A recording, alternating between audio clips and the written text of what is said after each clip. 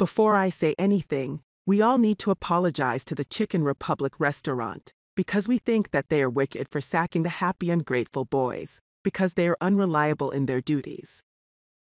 You are welcome to Blessed Update. Those boys who are called happy boys have caused harm to people.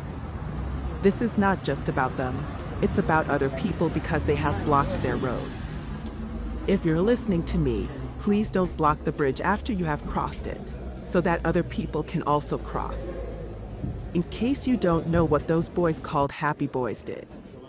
An apostle from Nigeria sponsored their education in Cyprus after they were sacked from their gateman job at a popular fast food chain, Chicken Republic, because they danced while on duty. If you watch those boys very closely, you will notice that they have small change in their back, which makes them think they have arrived, even to the extent of biting the finger that feeds them. Nevertheless, everything happens for a reason. Those boys were not sacked because of something good, they were sacked because of their bad behavior.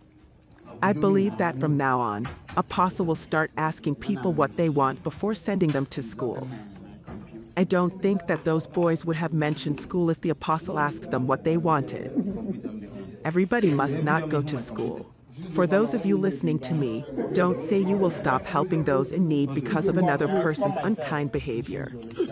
Though we see people dying in car accidents and airplane crashes, but we are still using the same means of transportation. Help people if you can, and let God reward you.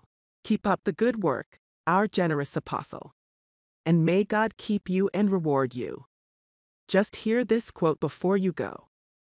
Always prepare for disappointment, even from your loved ones. Thanks for watching, and don't forget to like, follow us, or subscribe.